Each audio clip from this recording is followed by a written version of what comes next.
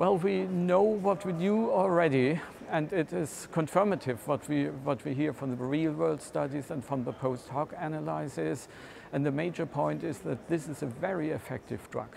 And in cases of interactions and in case of uh, some uh, tolerability problems, it's helpful to decrease the baseline medication. And that is basically what all the studies show. And they all also show that even in extremely difficult to treat patients, there is a rate of around 20% who uh, may achieve seizure freedom, which is uh, pretty spectacular.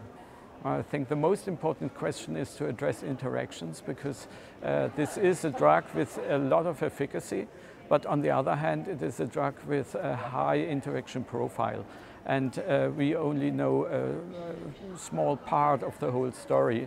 And I would recommend to have a closer look at uh, the potential interactions in those patients who very often are on uh, various drugs.